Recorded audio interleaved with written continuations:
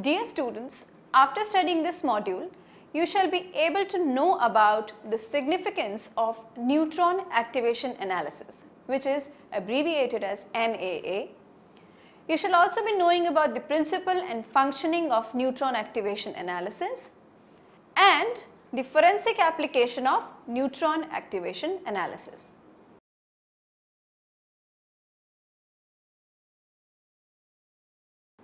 Activation analysis has in a few decades become one of the most important methods for determination of minor, trace and ultra trace elements in solid samples.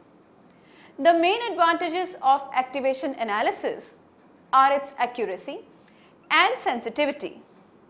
Moreover, it is an independent method that is not subject to the same systematic errors as others more commonly used analytical methods. The method is applied in the semiconductor industry, medicine, biology, criminology, archaeology, geochemistry and environmental studies or quality control.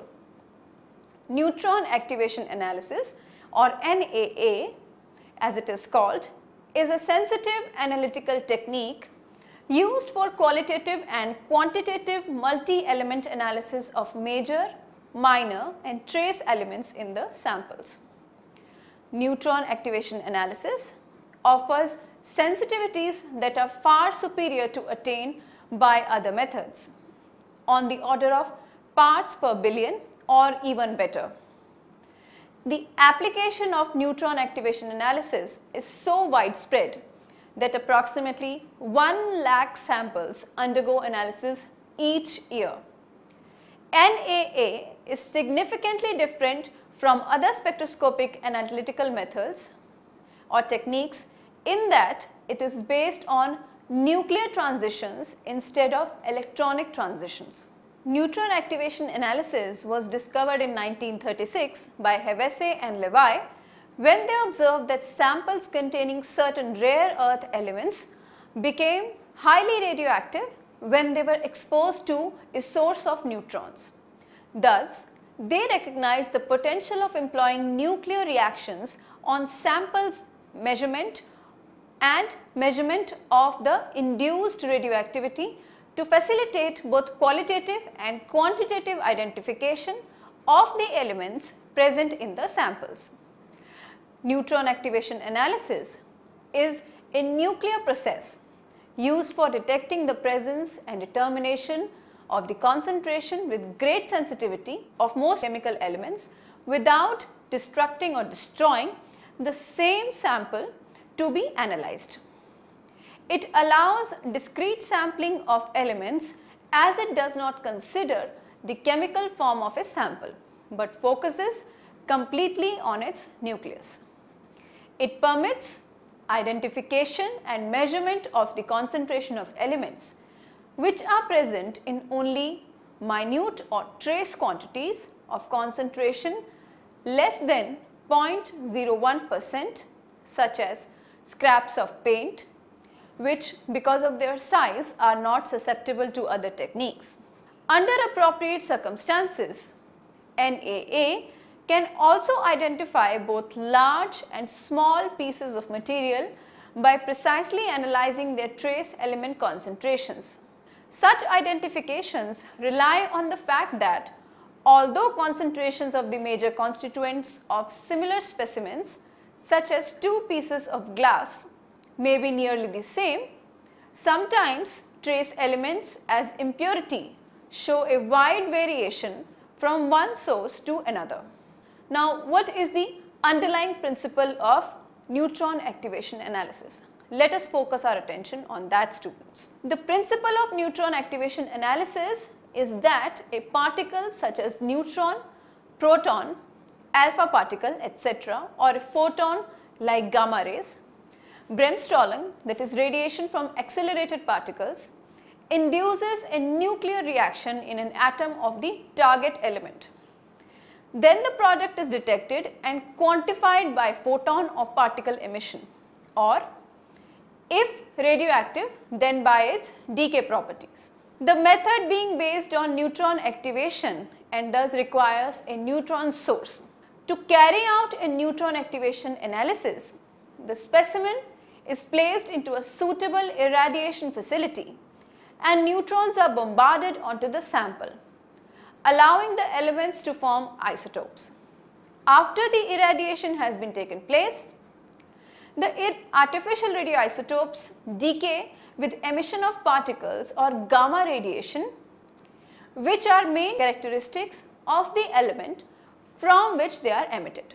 The gamma radiation or the radioactive emissions in general and radioactive decay paths for each element are known allowing to study the spectra of the emissions of that particular radioactive sample and to determine the concentration of the elements within it.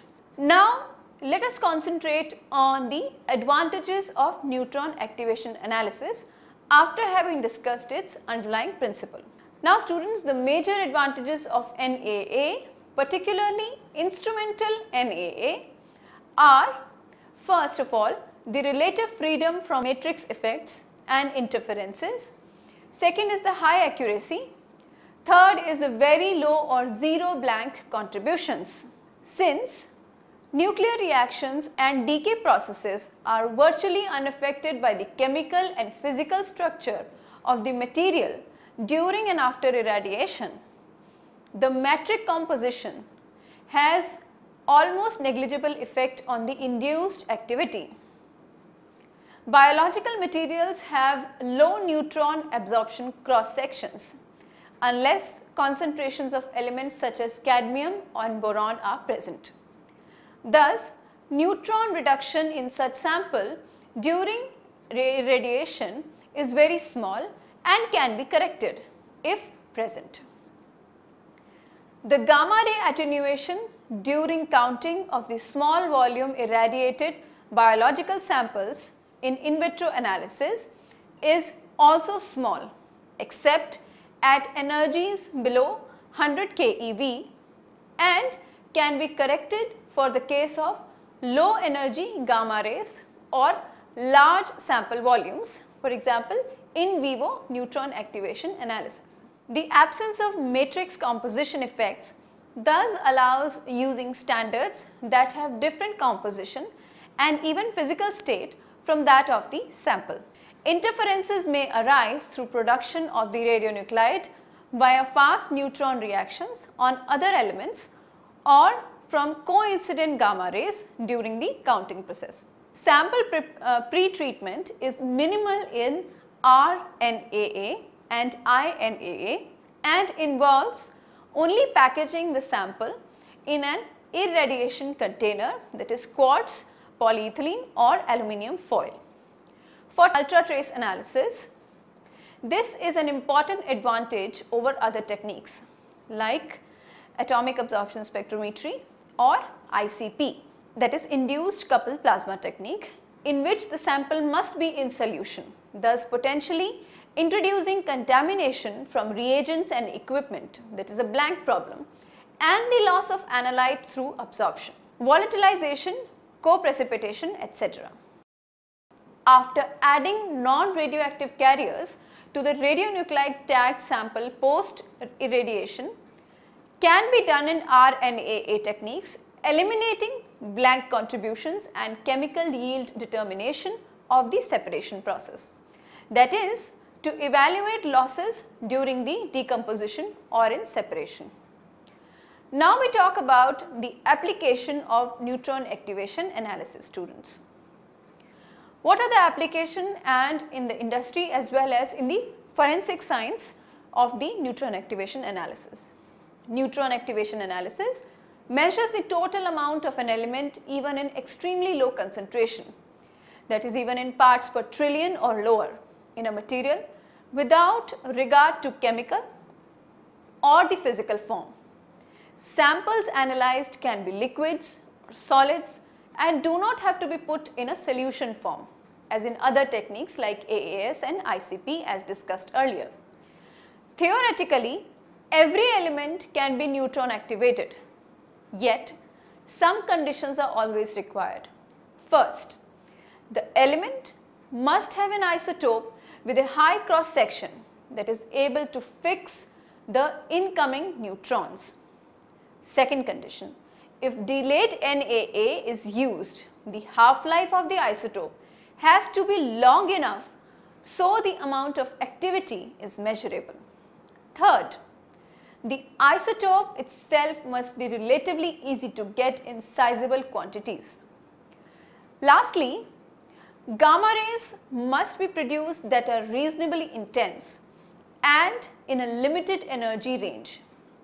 Applications of NAA includes environmental studies to characterize pollutants, semiconductor material analysis to measure ultra trace element impurities, archaeological studies of the distribution of the chemical elements and fossil materials, forensic studies as a non-destructive method for the suspect chemical agents, pharmaceutical material analysis to measure ultra trace element impurities, etc. Unfortunately, facilities for using this method do not exist everywhere. So this is a major shortcoming. Now, we shall study the forensic significance aspect of the neutron activation analysis now students. Neutron activation analysis is used and is applied in many fields. Now we shall be mainly concentrating on this aspect of the neutron activation analysis on the forensic significance aspect. So first is evaluating the evidence. The result of subjecting of a piece of material to neutron activation analysis is that the material is found to contain certain elements in the measured concentrations within experimental error. The next step is to determine the relevance of the result in solving legal issues. Sometimes the legal issue depends directly on the amount of a selected element in the material. For example, if the question is whether a particular death was due to arsenic poisoning, the activation analyst might measure the amount of arsenic in the victim's hair or in other tissues. And if the amount exceeds the normal amount by a considerable value, then death by arsenic poisoning has a high probability. In other cases, the legal issue is whether a given piece of evidence came from a particular source that is the identification problem. For example, a hair found on the body of a victim might be compared in its trace element concentrations to the hair of the suspect. Then the crucial question is the degree to which the comparison singles out the suspect as the guilty party. In neither of these cases is the neutron activation analysis evidence sufficient in itself. Additional data is definitely needed to evaluate the significance of the chemical analysis done by neutron activation techniques. In the first case, it is noteworthy to note that it is necessary to know the normal amount of arsenic in the tissue or hair measured. Knowledge of the distribution of arsenic concentration in the hair of the living general population is required so that one can calculate the probability that a person chosen at random would have an arsenic concentration equal to what was measured in the tissue or hair of the diseased person. However, in the second case, more information is needed to determine how much more likely the hair found on the victim is of the suspect than from a person chosen at random from the general population. Although the detailed considerations are different in the different type of cases, the analysis in each case depends on the existence of sufficient background information with which the evidence at hand could be compared. Only then the evidence can be interpreted properly. Now we will discuss the complications of identification. A criminal often leaves some materials in the area of a crime, such as a shirt button or a hair from his head or any other part of his body or he may carry away something from the vicinity of the crime scene, such as hair of the victim or a piece of the glass from a window broken in the case of burglary. Although all hair for example show similarity in the major constituents, there is great variation in the minor constituents from one person to another because of differences in diet, body metabolism, occupation and environment. Because of this great sensitivity of the activation analysis, the question arises whether materials can be unambiguously characterized by their trace element concentrations. If it could be shown, for example, that every hair on a person's head was identical to every other one and that they were all different from the hair on a different person's head. The procedure would provide an extremely powerful method of identification. Now students, let us discuss about the revelation of gunshot residues or the GSR. NAA technique is used for the revealing of mineral gunshot residues.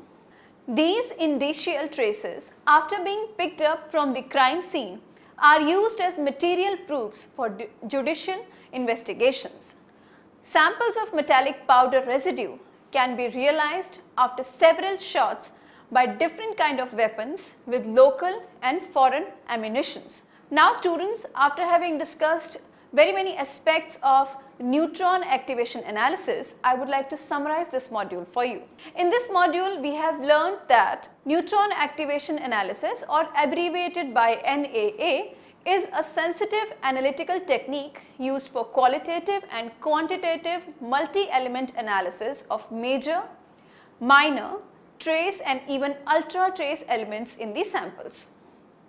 NAA offers sensitivities that are far superior to attain by other methods on the order of parts per billion or even parts per trillion for many elements and applications.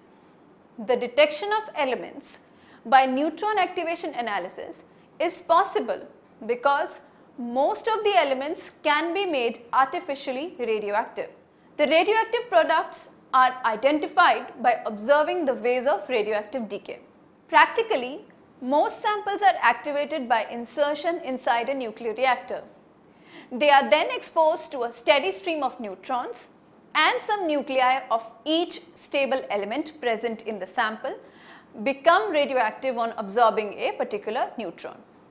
The basic things required to perform an analysis of the sample by the process of neutron activation analysis includes a source of neutrons, appropriate instrumentation for gamma rays detection and a vast knowledge of the reactions occurring during the interaction of neutrons with the target nuclei. Neutron activation analysis technique is used for revealing min mineral gunshot residues also.